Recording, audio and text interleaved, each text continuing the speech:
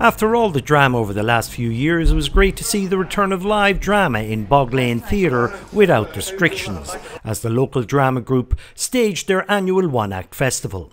Eight theatre groups from around the country showcased their acting and directing talents.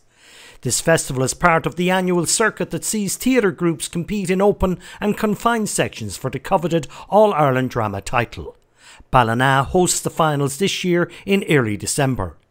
To qualify, groups have to amass points from three festivals to reach the final, and Ballymahon is the only Longford venue to host one of these. The adjudicator for this year's festival was Alan Howley, whose film and television work includes The Commitments, Hushabye Baby, Alarm, Stardust, Matty, The Clinic.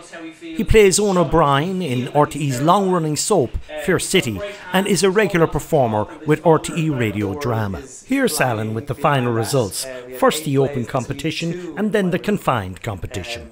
And first is Millrace Grand.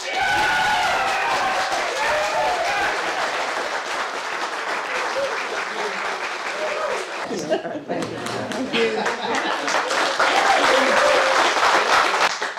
first place is Black Pepper with From Eden. Here is one theatre goer's take on the weekend.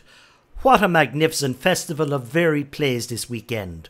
Wonderful standard of acting, directing, costuming, sound, and lighting effects. Very easy to forget I was watching actors. Plenty of fun, tension, hilarity, and terror. The adjudicator brought another dimension with his critique.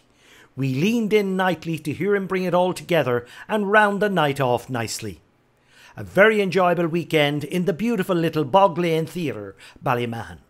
It took a whole lot of work to run that show, seamless and stylish. Wendell, Michelle, and all the crew. The complimentary tea coffee breaks upstairs were the business too. A joy to be back. May you, Ballymahon Drama Society, continue for many more years. Thank you very much, each one.